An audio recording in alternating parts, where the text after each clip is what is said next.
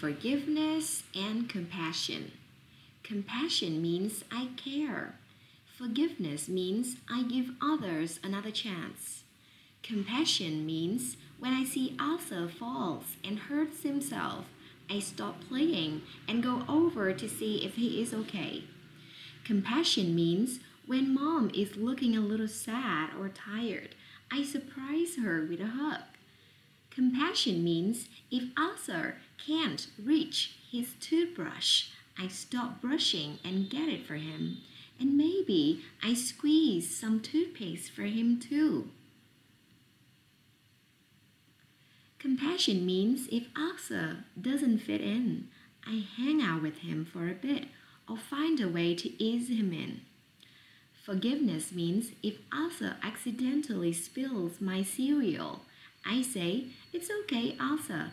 I spell it sometimes too. Forgiveness means if mom is angry at me and I am angry at her, I guess even moms make mistakes. I don't stay angry at her for long. Forgiveness means when Asa is sorry for saying I hate you, I accept his apology. I know you didn't mean it. I learned today that forgiveness and compassion is caring about others, helping others to solve problems, encouraging others when they are hurt, giving, giving others another chance because I mess up too.